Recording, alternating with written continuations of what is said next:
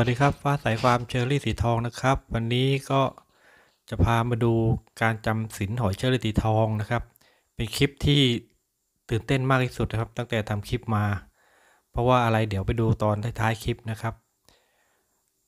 ทำไมเราต้องจำศีลเพราะว่าบางทีเราเลี้ยงมาระยะหนึ่งแล้วเนี่ย มันมีตัวใหญ่พอที่จะส่งไปให้ เพื่อนพี่น้องเราต่างจังหวัดอะไรเงี้ยมันต้องไปทางไปรษณีย์เราจำเป็นต้องทำให้เขาหลับก่อนใช่ไหมครับ เราก็ต้องคัดหอยมาที่เราจะส่งไปนะ เราก็เอาอุปกรณ์ในบ้านนะครับ มีถาดไข่มั่ง พัดลมมั่งอะไรเงี้ยเราก็เอามา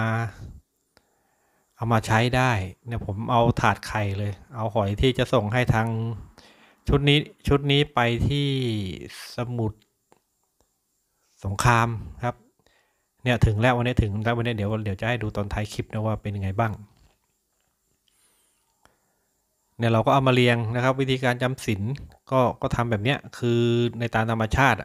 เวลาเข้าหน้าแล้งเนี่ยเขาจะต้องปิดฝาอยู่หลายเดือนใช่ไหมครับ เราก็เอามาเอาพัดลมเป่าเขานิดๆนะครับเนี่ยยังไม่หลับเพราะว่า 10 นาทีแล้วก็ยังนิ่งนิ่งอยู่นะครับ ก็ลองเอานิ้วเขี่ยเขี่ยเขี่ยเตือนเขาหน่อยว่า ให้ให้หลับได้แล้วอะไรเงี้ยแต่ก็ยังนะครับต้องใช้เวลาพักหนึ่งอะถึงกว่ากว่าเขาจะปิดฝาเนี่ย เพราะว่าเขาต้องต้องปรับตัวไง เพราะว่ายังไม่แน่ใจว่า เอ๊ะ มันจะแรงหรือเปล่าอะไรอย่างเงี้ยครับนี่เราก็คอยเช็คคอยตรวจเช็คนี่ผมปล่อยไว้ นานพอสมควรกลับมาดูอีกครั้งหนึ่งเริ่มปิดฝาแล้วครับปิด นอนกันเริ่มเงียบแหละ ขอบนี่เขาเริ่มสนิทแหละ เหมือนกับว่าเขาจะมียางอะไรด้วยนะ ที่ฝาเขาเนี่ยปิดปิดตัวเองอะ่ะเหมือนจะรู้ว่า โดนภาวะเข้าหน้าแรงเนี่ยโดนเราหลอกโดนเราหลอกนะครับ เราก็เร่งพัดลมใหญ่เลยนะครับเนี่ยพอเป่าไปสักพักเนี่ยแล้วก็จริงๆพัดลมไม่ต้องใช้ก็ได้ เพราะว่าเราทิ้งไว้ทิ้งไว้เดี๋ยวเขาก็จะปรับตัวเขาเองนะครับ พอเสร็จแล้วก็เนี่ยผมก็จะจับมามาวางไว้เนี่ยวางไว้ที่แห้งๆเพราะตอนนี้เขาปิดฝาแล้วเขาปิดฝาสนิทแล้วแล้วก็เราก็ต้องลุ้นกันแล้วว่า จะเดินทางไปถึง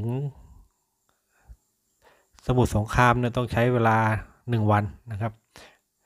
นี่เจ้าของฟาร์มมันชอบชอบเข้ามาช่วยตลอดเวลาทำอะไร ครับนี่ก็เอามาเรียงไว้อย่างเงี้ยเพราะว่าต้องเอาไว้สองวันไว้กับเราในสองวันทำไมถึงเอาไว้สองวัน เพราะว่าจะได้รู้เลยไงว่าเขารอดไหม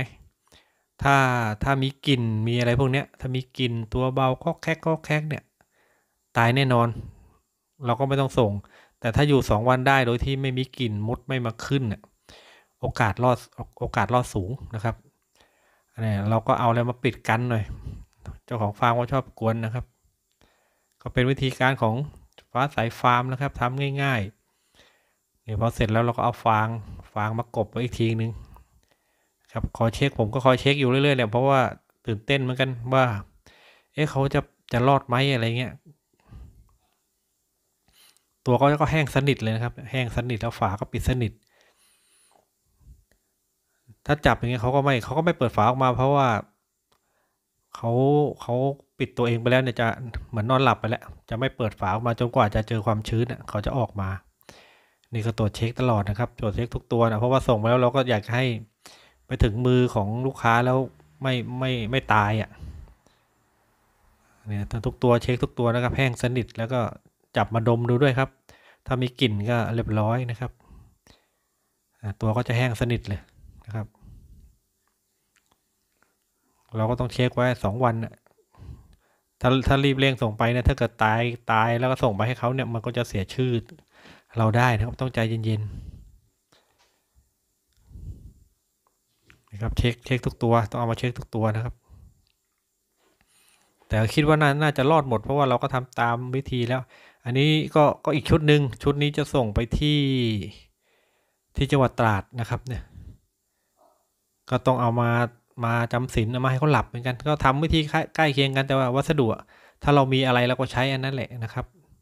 เดี๋ยวหอยก็จะปรับตัวเองนี่เราก็เปิดพัดลมนะครับ แล้วก็ปิดฝาเอาฝากับข้าวเขายืมมาแป๊บนึงมาปิดเพราะกันเจ้าของฟาร์มลงไปลุยนะครับ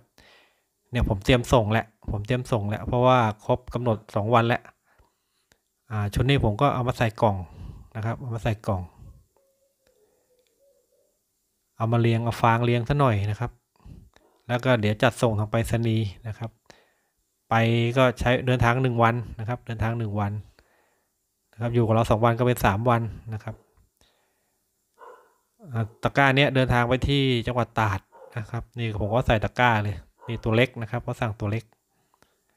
เราก็ต้องเช็คทุกตัว แล้วต้องจับดมทุกตัว ต้องจับว่ามันมันมีตัวไหนตายตัวไหนเน่าไหม ถ้าเกิดไม่ตรวจสอบก่อนส่งไปเลยเนี่ย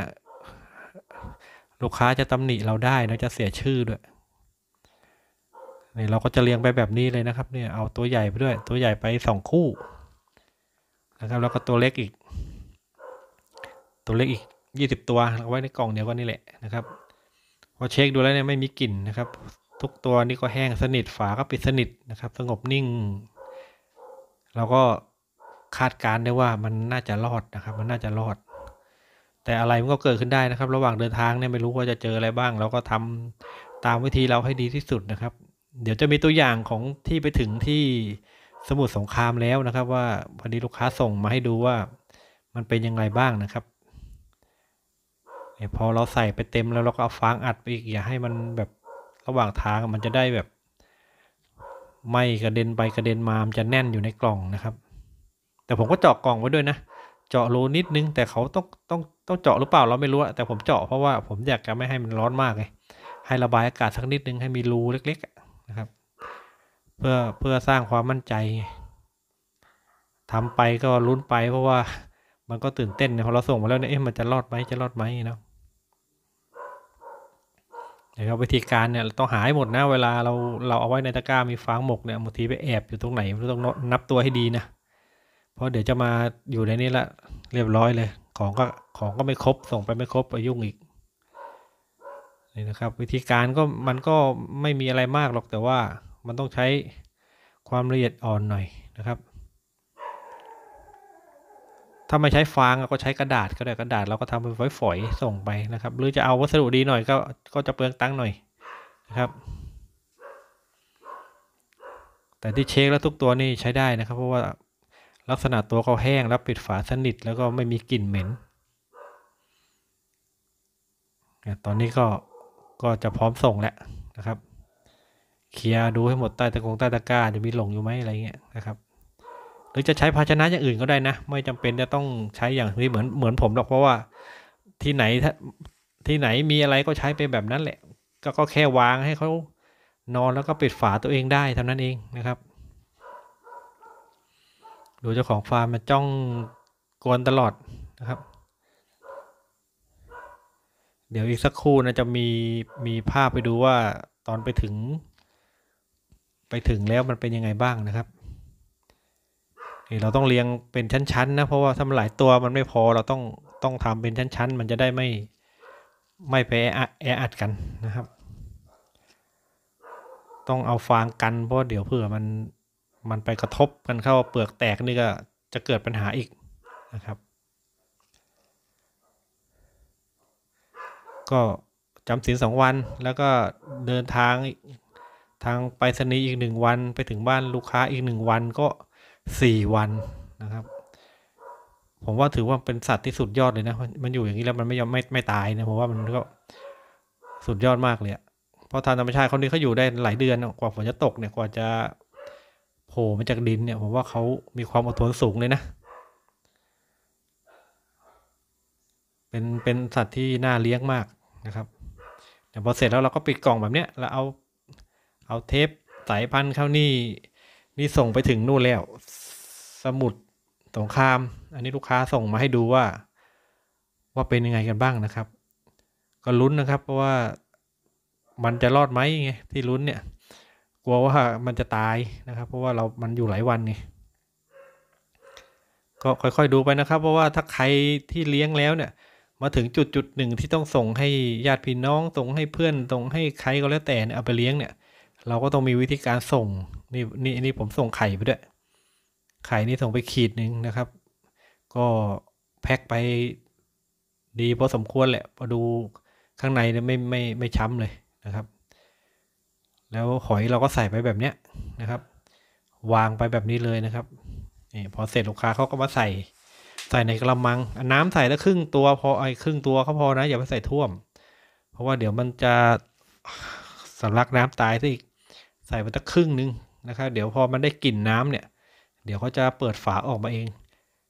ครับสรุปแล้วเนี่ยหกตัวนี้รอดหมดนะครับลูกค้ายืนยันมาแล้ว confirm มาแล้วขอบคุณที่ติดตามครับ เดี๋ยวมีอะไรดีคลิปหน้าจะทำให้ดูใหม่สวัสดีครับ